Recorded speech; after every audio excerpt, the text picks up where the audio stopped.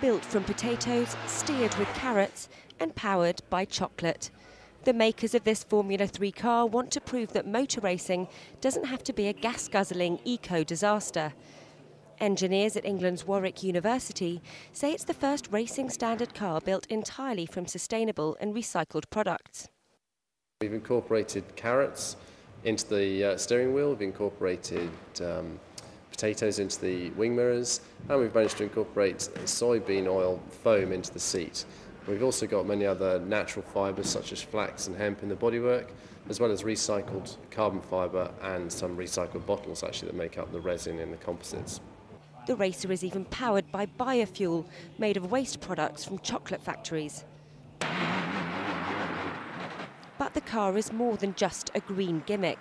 The team say the racer will soon be reaching speeds of up to 160 miles per hour.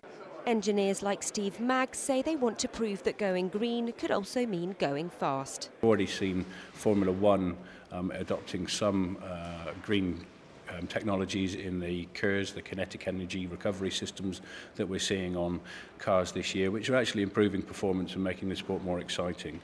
Um, I'm convinced that uh, some of these technologies, some of these sustainable materials technologies, we'll see them on not just Formula One but other aspects of motorsport as well. But this eco car won't have the chance to prove itself on the racecourse anytime soon. Its chocolate-based fuel is a little too unusual to meet current racing regulations.